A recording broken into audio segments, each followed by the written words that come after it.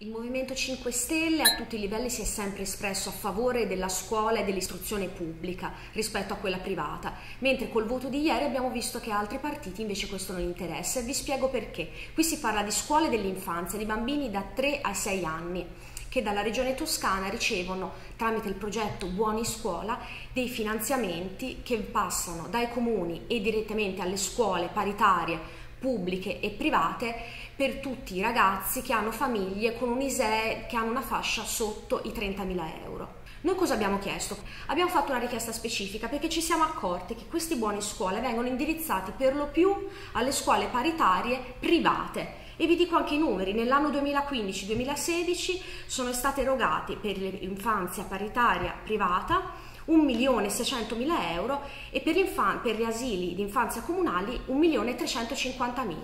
Noi con la nostra mozione abbiamo chiesto che la Regione Toscana si esprimesse a livello nazionale affinché la normativa prevedesse un maggiore finanziamento della scuola pubblica, visto che i soldi sono pubblici e devono finanziare prima di tutto la scuola pubblica e poi quella privata, che riceve tra l'altro già anche altre sovvenzioni. Abbiamo visto che con la cosiddetta buona scuola il governo Renzi ha previsto ulteriori finanziamenti indiretti per questi istituti pari a circa 400 euro l'anno per ogni ragazzo che frequenta queste scuole. Abbiamo chiesto questo impegno alla Regione Toscana, abbiamo chiesto che in qualche modo finanziasse prevalentemente gli istituti paritari pubblici e la maggior parte delle forze politiche in Regione ha risposto no. Ecco perché il Movimento 5 Stelle continua a dirsi l'unico vero sostenitore della scuola pubblica rispetto a quella privata.